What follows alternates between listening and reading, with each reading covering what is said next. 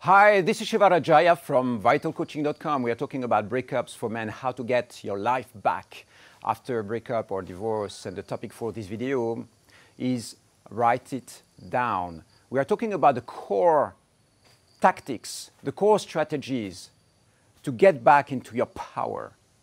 And one of the powerful things that you can do is simply journal, journaling.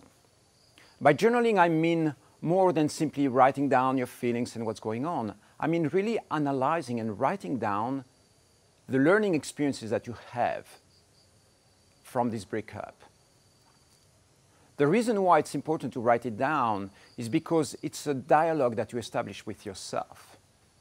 Sometimes you have a thought or a realization in your mind, and then writing it, writing it down is going to take it out of your mind. It's going to put it on paper or put it on a file somewhere, on a Word file, or somewhere where you keep this, uh, this journal. And then by putting it out there, you're going to get it out of your mind so that you can relax and think about something else. And so very often a thought is going to stay alive in your mind for as long as you didn't really digest it. It's a call for action. It's a call to do something about it and to understand something about it.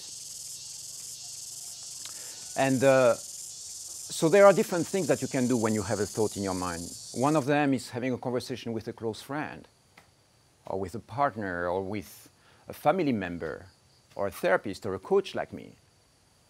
Another one is to you know, start emotionally releasing and let that thought dissolve.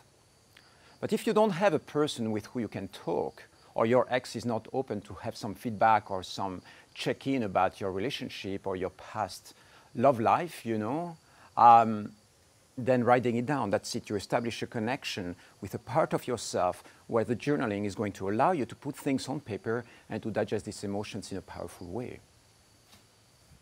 And so it's a very simple tactic. This is one of the core things that you can do in the getting your life back tactics.